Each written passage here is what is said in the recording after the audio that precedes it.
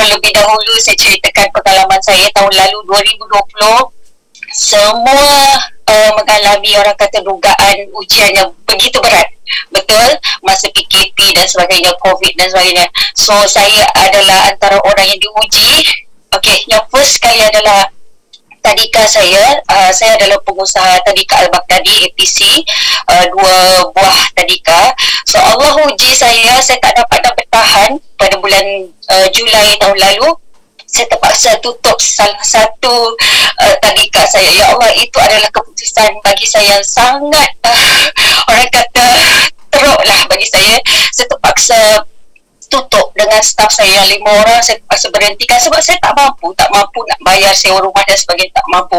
So itu pengalaman saya lah pada bulan tujuh tu. Jadi saya memikirkan sesuatu. Apa saya nak buat masa ni sebab takkanlah saya nak stay di situ okay? So Alhamdulillah pada bulan 11 pada bulan uh, 11 tu awal tu awal November upline saya uh, Ustazah Azwa Kak Cik lah okay, Kak Cik semua mungkin kenal ya? Kak Cik Kak Cik uh, message saya. Dia kata Ana uh, okay tadi kita memang dah lingkup Ana APC kita okay apa kata kita buat ni Syakli ni kita jadikan dia sebagai pelampung. Ana on tak? Saya just kata on. Saya tahu. Saya makan Syakli sebenarnya tapi saya tak tahu benda-benda bisnes dia.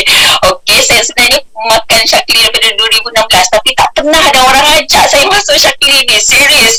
So uh, Kak Cik adalah orang yang ajak saya so saya on. Saya kata on. Okay sebab saya masa tu saya nak memikirkan lagi semua tadika tu saya nak kasih orang kata ada sesuatu lah input ke sana. Nak kata ni nak cakap betul ni saya adalah seorang guru gaji saya tu terpaksa saya ambil top up kepada tadika saya yang lagi sebuah lagi. Untuk bertahan tahun lalu tu ya Allah Allah Rabbi sakitnya. Tak tahu nak kata apa. Jadi bila Kak Cik uh, panggil saya Ana buat. Okey jom. Saya sungguh-sungguh-sungguh Alhamdulillah pada bulan November tu saya up rank terus kepada supervisor. Dan Alhamdulillah okey uh, dapatlah pengalaman apa semua. Dan Allah Rabbi Allah uji lagi sekali saya naik saya diuji lagi sekali uh, pada hujung bulan November itu seluruh keluarga saya yang berada di sana kan semuanya positif COVID-19. Allah Akbar. Dan empat orang yang empat orang yang kritikal lah. Kritikal empat orang. Uh, adik saya uh, stage 5 arwah bapa saya stage 5 arwah uh, uh, adik saya itu terpaksa dioperate sebab dia mengandung tujuh bulan. Terpaksa dioperate. So adik saya seorang lagi stage 3 kakak saya uh, stage 4 arwah bapa saya meninggal lah. Allah Akbar. So itu adalah bagi saya seluruh keluarga saya mengharapkan saya sebab saya berada di Kota Kinabalu masa tu. Dan saya adalah orang sebagai waris untuk uh, orang kata dapat uh, dapat segala maklumat daripada ICU COVID dan sebagainya. So bila arwah bapa saya meninggal 7 hari bulan 12 2020 ulang tahun perkahwinan saya yang ke-13 Allah Akbar. Sakit. Saya akan ingat itu sampai bila-bila. Ulang tahun perkahwinan saya adalah ulang tahun uh, pempergian arwah bapa saya. Okay, so bila meninggalnya arwah bapa saya tu saya terus. Lillahi ta'ala saya terus kata saya macam jadi jadi beruang kutub tau. Jadi macam hibernasi. Dua bulan tu lillahi ta'ala saya tak boleh tengok handphone. Saya terpaksa silent handphone saya selama dua bulan sebab saya rasa trauma. Bila saya dengar bunyi handphone tu saya trauma. Saya teringat balik yang daripada ICU call saya bagi tahu bapa saya dah meninggal dunia. Dalam perjalanan saya balik ke Sedakan. So menggeletar dua bulan saya terpaksa off silent handphone. So dua bulan tu saya stop shortly saya tak buat apa-apa.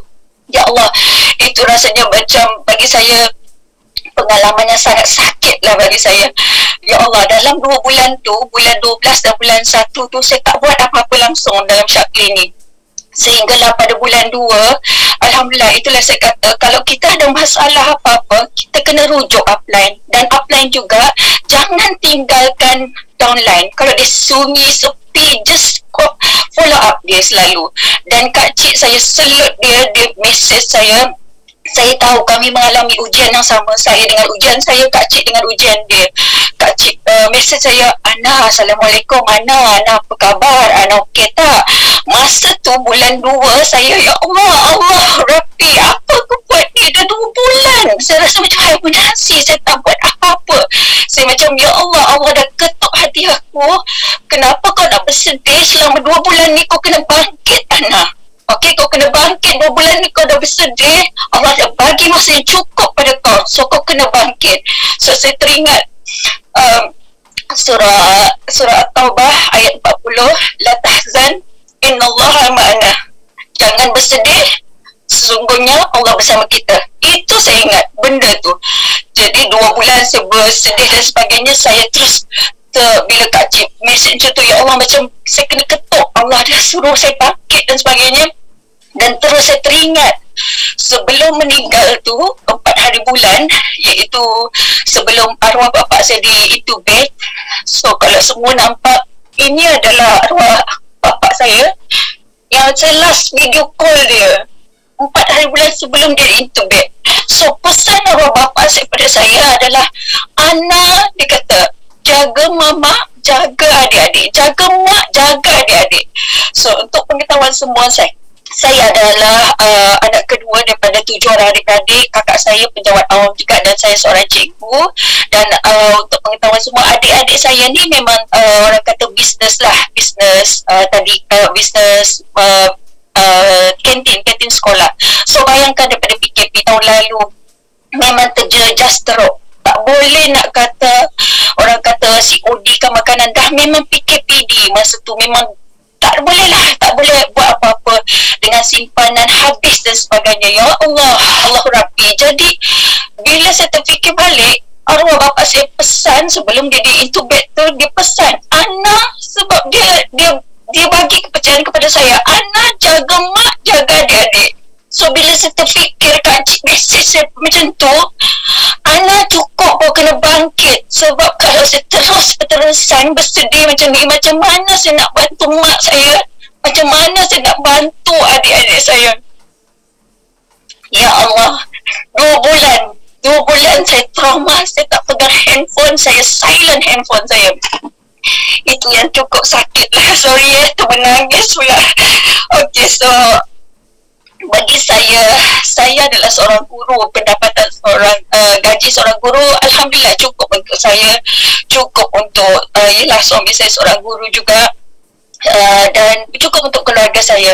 Tapi saya fikir balik macam mana dengan tadika saya lagi satu? Kalau saya tak bangkit apa apa macam mana dengan lima orang staff lagi yang saya de- dekat tu APC lima orang lagi? Bagaimana mak saya? Bagaimana adik saya? Takkan nak berterusan macam ni so saya kena bangkit. Alhamdulillah ya Allah. Allah beri kekuatan pada saya. Bila dah jatuh tu saya merangkak. Orang kata dah jatuh. Bila kau nak bangkit semula sakitnya Tuhan yang tahu. Sakit sangat sakit. Okey, tapi saya ter, saya buang semua tu. Kau kena bangkit anak sebab kau harapan keluarga. Kau harapan keluarga kau kena bantu mak. Kau kena bantu adik-adik. So saya saya bangkit semula. Alhamdulillah pada bulan 3 terus saya efektif uh, supervisor dan seterus Alhamdulillah seterus orang kata mengembangkan. Bayangkan selama 2 bulan tu saya tinggalkan semua downline saya saya tak message tak apa saya tak contact upline saya. Ya Allah sakitnya. Tapi bila Allah dah ketuk kita jangan bersedih. Allah sentiasa ada bersama kita. Okay. so itu saya ingat benda tu sampai bila-bila. Ya Allah Allah Rabbi tolong doakan saya sentiasa kuat dan sentiasa terus dalam syakil ini. Dan bagi saya kenapa saya terus berada dalam syakil ini? Sebab ada dua benda yang saya rasa memang best lah yang uh, memang uh, dapat saya dapat kesannya. Yang pertama adalah kesihatan keluarga saya. Alhamdulillah bila uh, ini nak bagi tahu jugalah semua. Alhamdulillah masa kami diuji saya tak kenal Mas Tazi. Mas Tazi adalah founder Beauty Box. Bayangkan saya tak pernah kenal dia saya tak tak pernah jumpa dia dan dia pun tak pernah jumpa dia saya tak kenal saya tapi bolehnya bila saya diuji dengan COVID-19 tu Mas Aziz terus kata Puan Nana minta alamat saya nak bagi vitamin C 24 botol Omega 24 botol, Osteometrix 24 botol bagi kepada semua keluarga Ana dan kepada semua yang kena COVID di ward itu. Saya lillahi ta'ala saya terus bagi di saya bergeletar saya bergeletar saya bagi terus. Di sandakan lah mereka yang ni kan bagi-bagi semua. Alhamdulillah. Dan adik saya adik saya Sarah tu dia memang betul-betul makan sebab uh, adik saya yang Ida yang pregnant tu memang dah di ICU lah dengan arwah bapa di ICU memang tak boleh nak makan syakli apa semua lah sebab benda-benda tu dikawal kan sebab pun di intubate dan sebagainya. Tak dapat nak cakap. Bayangkan adik saya dengan arwah bapa je melambai je. Masing-masing tak boleh nak cakap. Allah Rabbi sakit. Saya pengalaman tekan sedihnya. Jadi adik saya tu yang dapat makan Sarah tu Alhamdulillah kesan dia dia, dia, dia, dia ada mesej saya sendiri. Saya ada ni. Saya ada masukkan dalam Facebook. Dia kata uh, Alhamdulillah dia kata bila makan ni tiga hari saja terus dibuka sambungan oksigen dan sebagainya dia, dia semakin sehat. Alhamdulillah. Mak saya pun makan Bibix Alhamdulillah. So satu lagi yang saya dapat daripada Syakli ni adalah bonus saya lah. Alhamdulillah bonus saya dapat membantu keluarga saya adik-beradik saya. Vivix tu harga berapa? Vivix tu mahal kan? Alhamdulillah dengan bonus saya tu saya dapat bagi mak saya makan Vivix bayangkan buka dia yang pucat macam tu Alhamdulillah. Bertambah pink dan sebagainya dia semakin sehat. Jadi itulah saya rasa saya dapat membantu keluarga saya lah. Dan satu lagi saya nak cerita adalah mak saya adalah seorang pengidap uh, penyakit kulit lah psoriasis.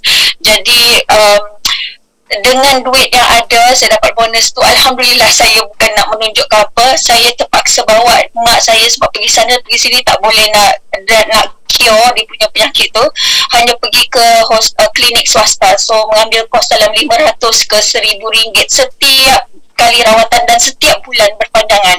So Alhamdulillah saya dapat bawa mak saya. Doakan saya sentiasa selagi mak saya hidup.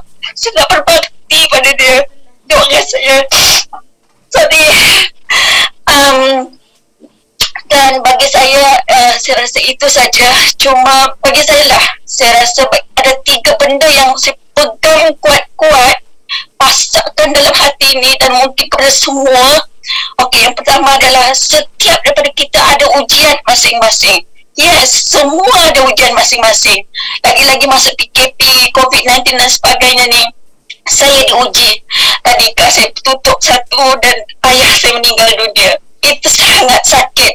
Adik-beradik saya tak ada dapat pendapatan bisnes uh, kantin sekolah habis dan sebagainya. Okay, mak saya kesihatan dia pun tak berapa nak bagus. So bagi saya adalah yang pertama adalah jangan berlamaan bersedih. Okay, bangkit kena bangkit Okey, jangan berlamaan bersedih. Bangkit. Kita ada Allah. Allah sentiasa ada buat kita. Hanya kita yang lupa di mana kita berada. Kita tak selalu minta pada dia. So, jangan berlamaan bersedih. Yang pertama. Yang kedua adalah tanya pada diri sendiri apa big why anda semua berada dalam syak ini. Bagi saya, big why saya adalah pesan arwah bapa saya. Ana jaga mak, jaga adik-adik. So, this is my big why itu sebab kalau saya rasa lemah-lemah orang bagi saya blue tick alas tak blue tick macam ni. Okay lantak bila aku kena bangkit. So this is my big why. Okay pesan arwah bapak saya. Yang ketiga adalah kena beri peluang pada diri. Yang ketiga beri peluang pada diri maksudnya. Yes memang sakit. Memang sakit. Jatuh tu. Allah Rabbi. Saya nak bagi tahu eh tadikah saya saya cakap terus terang di sini. Tadikah saya modal tu adalah saya jual rumah saya dapat disadakan saya dapat cash 50k saya laporkan ke semuanya dalam tadika tu. Saya tak dapat apa. Lillahi ta'ala dan lingkup sama sekali. Bayangkan. Dengan renovation dan sebagainya habis 100 ribu lingkup habis tadika saya. Saya diuji macam tu. So yang ketiga beri peluang pada diri. Yes memang sakit. Memang sakit. Subhanallah saya tak pernah dapat ujian macam ni seumur hidup saya. Tapi orang kata kena beri peluang. insyaAllah dalam syak ini doakan saya dan tim best saya BBKC dan best saya Beauty Box Star team best. Mudah-mudahan terus cemerlang. Doakan saya jadi koordinator bulan ini dan seterusnya dapat jadi master insyaAllah saya punya niat adalah saya nak bantu orang-orang yang di sekeliling saya saya sayang semuanya Okay, so itu saja daripada saya saya rasa so we have to come back. Yes, we have to come back. Jatuh come back. Okay, pastikan kita berada di puncak sana. Kalau Master Z boleh di sana, kita duduk seiring dengan dia. Okay, boleh. Okay, saya itu saja. Assalamualaikum warahmatullahi wabarakatuh. Terima kasih.